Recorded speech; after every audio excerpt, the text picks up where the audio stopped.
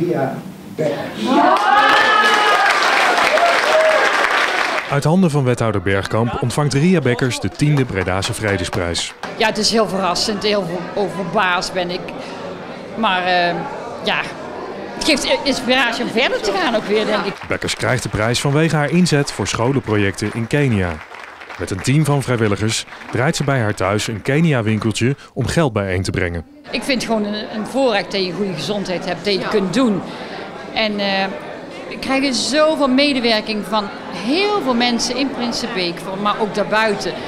Dus het is, het is gewoon een cadeautje dat je het kunt doen en dat je door kunt gaan. Het geeft alleen maar inspiratie en uh, energie, denk ik. Hè? Ja, we gaan gewoon door. Volgens de juryvoorzitter groeit de bekendheid van de Bredase Vredesprijs. Steeds meer uh, mensen weten wat de uitreiking van de Vredesprijs is. En wat ook de ja, inhoud is van de Vredesprijs. Wat iemand uh, gedaan moet hebben of uh, mee bezig is voor dingen ja, die toch nog steeds heel hard nodig zijn. Maar behalve de verdiensten van de kandidaten zelf, telt er nog één ander belangrijk criterium. Het moeten mensen zijn die uh, van binnenuit uh, anderen ook kunnen inspireren. Want in je eentje doe je niet zoveel.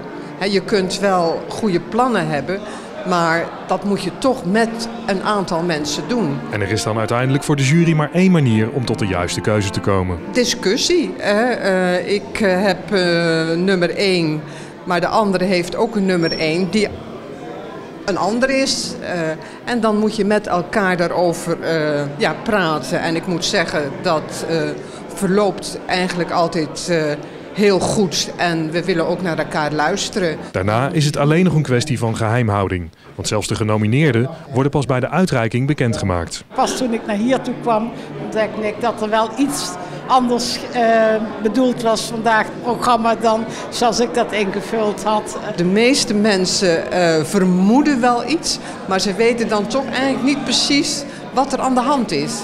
Daarmee is het voor alle genomineerden een verrassende en feestelijke middag. Vrede is gewoon, dat begint eigenlijk bij jezelf. Als je zelf eigenlijk, als je zelf eigenlijk je openstelt naar, naar een vreemde toe, dan krijg je eigenlijk alleen maar goed, goed terug. Dus vrede klopt daar wel mee.